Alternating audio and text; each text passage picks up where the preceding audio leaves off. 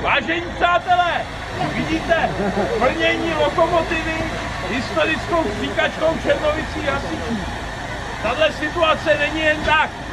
Tohle se opravdu stalo a to v roce 1906, kdy byla zahájovací jízda tady úzkokolejky Obrataň Jindřichův Hradec a bylo to ke konci roku, kamenici nad Lipou jim zamrzla pumpa a tak museli zavolat hasiče, který z nedalekého rybníka tu mašinu doplnili.